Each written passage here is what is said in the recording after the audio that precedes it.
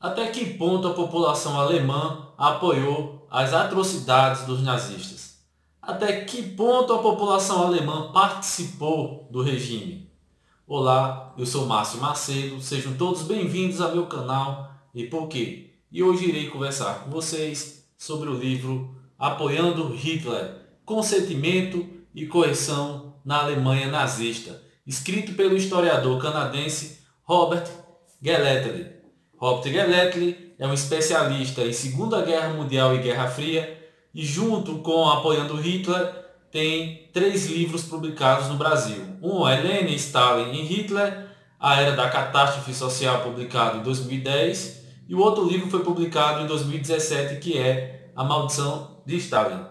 Né? Publicado pela editora Record, Apoiando Hitler, é um livro esclarecedor sobre como a população participou do projeto nazista. Então, é, dias como vivemos, de bolhas ideológicas, de extremismos, é uma leitura muito importante. O regime nazista ele começou a ganhar apoio da população porque falou justamente aquilo que eles queriam escutar. A Alemanha estava passando por uma grave crise econômica e também estava descrente em relação à República de Weimar. Então, isso facilitou para o discurso nazista ganhasse adeptos na população. Então, dos pequenos adeptos, cresceu e o regime conseguiu se estabelecer. Mas é importante frisar que existia uma ideologia nazista que não era compatível com a população. Ele usou os preconceitos da população para se firmar e aumentou esses preconceitos em relação aos outros povos, inclusive os judeus. Eles buscavam sempre encontrar um inimigo para jogar a culpa da crise, a culpa da corrupção política neste inimigo. E no caso foram os socialistas. Como a Alemanha não tinha vivido ainda uma experiência democrática, a República de Weimar foi extremamente criticada. E a humilhação que a Alemanha sofreu após o Tratado de Versalhes e até mesmo a parcimônia que o país vinha passando a culpa foi jogada todas nos socialistas. Por isso que os nazistas colocaram os socialistas como inimigos. Mas foi um pulo uh, dos socialistas para os criminosos é, é, e marginalizados. Foi um pulo. Colocaram eles dentro de um barco só, fizeram uma acusação só, dizendo que esses prejudicavam o povo alemão. Então até o senso de justiça acabou mudando. Existia aquela justiça do Estado, a justiça civil, mas aí prevaleceu a justiça da CRIPO, a justiça da Gestapo, e as pessoas eram condenadas à morte por suas ideias. Até mesmo os juízes passaram a ser perseguidos caso eles não dessem uma penalidade de acordo com o regime nazista. Então, uma das características desse período de catástrofe é justamente esse. A justiça, a justiça civil, ela passa a ser deteriorada em favor de uma justiça policial. O ele divide é, a guerra em duas partes. A guerra não, o, o regime nazista e o apoio da população ele divide em duas partes. A primeira que vai fortalecimento do regime em 1933 até 1938, quando começa a guerra. É interessante que ele afirma que os judeus eles ainda não eram, existia uma propaganda contra os judeus, mas eles ainda não eram tão perseguidos até 1938. A partir do início da Segunda Guerra Mundial, que os nazistas realmente vão fortalecer a sua perseguição e vão fiscalizar mais ainda o fronte interno. A ideia era que, enquanto o fronte externo estivesse em batalha, o que acontecia internamente dentro da Alemanha não poderia prejudicar de jeito nenhum essa batalha. Por isso essa fiscalização incessante dentro do território alemão.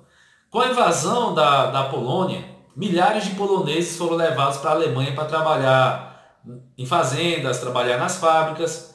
E os, os poloneses só não foram exterminados como judeus porque eles temiam a, a, a, é, é, que a desconfiança de franceses e de outros países vizinhos aumentasse mais. Você já imaginou eles exterminar os poloneses? Quem seriam os próximos? Os belgas? Os franceses?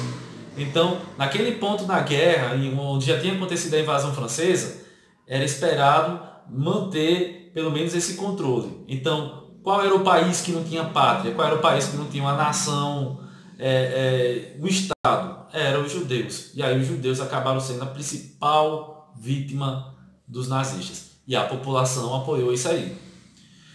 Alguns aspectos é interessante porque a própria população fiscalizava uns aos outros. Um exemplo, era proibido manter qualquer tipo de afeto com os poloneses. Qualquer tipo de afeto. E existiam muitas denúncias, inclusive de poloneses que denunciavam seus patrões por estupro. E quem acabava sendo condenado era tanto o patrão como a polonesa. Ou até mesmo por manter amizades com poloneses, ou levar uma polonesa ou um polonês para o cinema. Tudo isso era proibido. E existia denúncias para a Gestapo entre a própria população. Algumas dessas denúncias até mirabolantes, que a Gestapo até pediu assim, olha, vamos tentar manter a verdade das denúncias é, em relação à, à população alemã.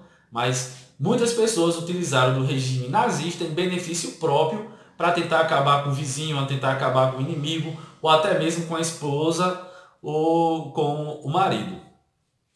É, outra questão também, assim, que ele mostra nos documentos era o fato de ninguém poder escutar rádios estrangeiras. Existia toda uma propaganda nazista de que eles estavam ganhando a guerra e a potência alemã iria vencer os seus inimigos, mas depois do dia D da invasão da União Soviética, eles ainda quiseram manter essa propaganda. Então era proibido a população escutar rádios estrangeiras. Mesmo assim, muitos escutavam, e até mesmo quem não escutava, se tivesse um inimigo, acabava sendo denunciado para a Gestapo por estar escutando. E uma das penalidades era a morte. A população sabia do que estava acontecendo. Sabia até mesmo o que ia acontecer. Então, em benefício de, uma, é, é, de um padrão de vida melhor, de, de pertencer a uma classe econômica é, estável, a população apoiou essas atrocidades. Uma dessas até como presságio que o Hitler falou em 1941, como descreve aqui no livro, na página 230. Olha só. Hitler deu tantas indicações que qualquer pessoa racional dificilmente não teria como concluir que podia haver algo por trás das habitualmente bombásticas ameaças. Ele fez um discurso em 30 de janeiro de 1941, como em geral acontecia no aniversário da sua nomeação como chanceler em que mais uma vez lembrou a plateia de sua profecia e disse esperar que os inimigos da Alemanha reconhecessem que os judeus eram o grande inimigo de todas as nações combatentes. Essas nações, falou Hitler, deveriam se juntar em um fronte comum, em vez de lutar entre si. E essa aí é a parte mais assustadora. O judeu, entre aspas, o judeu será exterminado, declarou uma matéria de primeira página sobre o seu discurso acrescentando que a profecia seria cumprida no final desta guerra. Primeira página de um jornal. Então isso foi publicado para a população. Então a população não sabia o que estava acontecendo. É difícil de acreditar. Porque o que se diziam é que os alemães não sabiam. É por isso que o Goethe escreveu esse livro. Porque a ideia que se tinha é que o, o, as mortes no campo de concentração não foram divulgadas para a população alemã. Isso aqui, ó, primeira página, não foi divulgada é um livro escrito em cima desses documentos, de matérias de jornais, os arquivos da Gestapo. Assim, o final do livro ele é assustador quando fala das invasões dos Estados Unidos, em que eles, no mesmo a Alemanha sendo derrotada, a população ainda apoiava Hitler. Eles apoiaram Hitler até o final da guerra. Quando os americanos se, apro se aproximavam de um campo de concentração, a população desse campo era transferida para outros e longas marchas que duravam 3, 4, até mesmo mais de uma semana.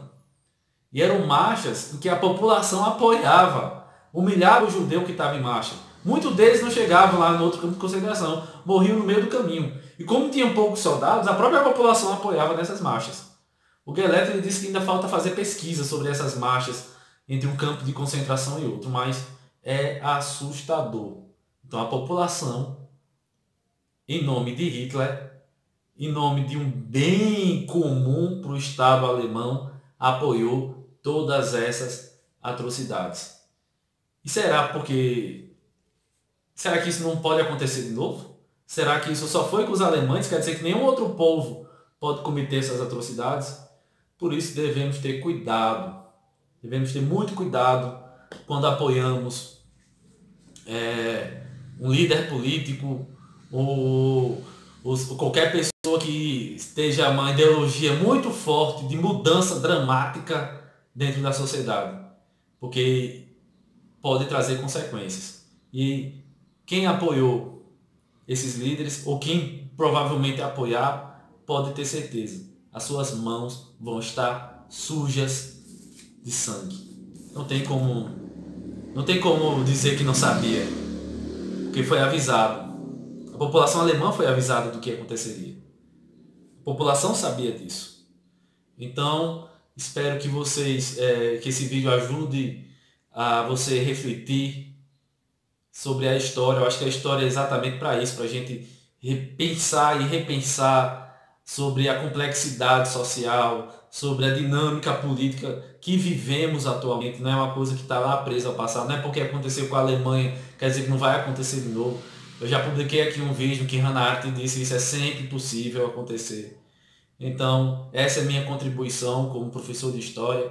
Espero que tenham gostado do vídeo e curtam, assinem o canal. Eu demorei muito para publicar outro vídeo porque passei por mudança até onde tá meus livros onde eu gravava antes. Não estou gravando em outro lugar porque o som onde ficou meus livros é eu moro na avenida agora e passa muito carro e atrapalharia muito. Então é isso, pessoal. Espero vocês no próximo vídeo. Comentem, é, pode colocar dicas de outros livros, pode colocar o que você pensa sobre isso, soluções, é, até mesmo se o vídeo não ficou legal, pode colocar suas críticas para melhorar. É, eu, eu estou aberto a opiniões, estou aberto à conversação. Valeu e até mais.